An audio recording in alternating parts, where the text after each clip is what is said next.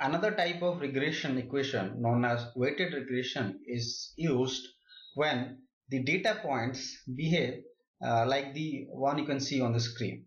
In this case, you can see that in the left hand side of the data, the variation is much less, whereas the uh, variation in the right hand side of the data is much more or the precision is different in the left hand side of the data from uh, here if you look at my cursor and uh, to the right hand side.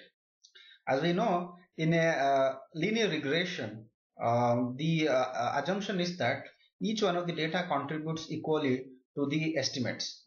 Whereas this assumption get violated because some of the data are very closer to the regression line and some of the data points are little far away from the data points uh, from the regression train um, hence uh, the objective of weighted regression is to give more weight to data points which are very closer to the regression line and uh, give less weight to the data points which are uh, further. That makes the, uh, the um, estimates more accurate and more robust.